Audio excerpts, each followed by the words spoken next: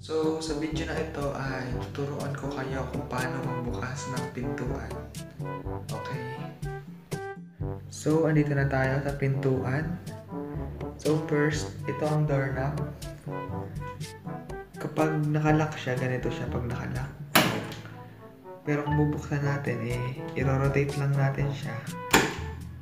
At i-rotate. At yun po, bukas na po ang pintuan.